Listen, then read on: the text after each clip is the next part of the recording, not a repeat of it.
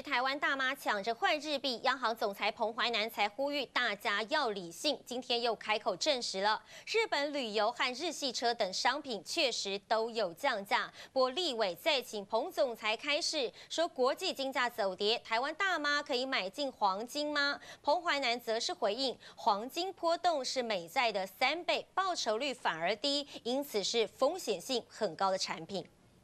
本旅游团都降了至少百分之十了。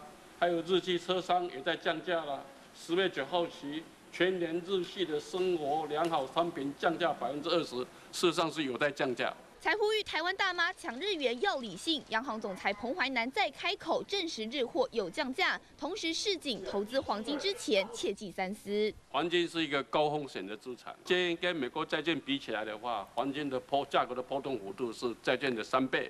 黄金的报酬率呢，远低于美国的债券。国际金价走跌，十三号黄金现货盘中最低每盎司一千一百五十六美元，从二零一一年高点一千九百二十美元来看，大跌将近四成。金价会不会续跌？彭总裁口风很紧。不好投资的米啊，因为它的报酬率很差。哎哎，各位，哎各位，可博不？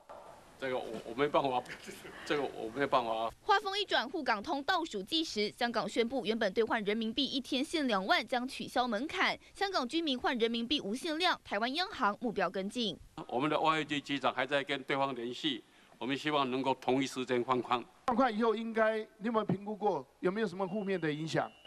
应该不会。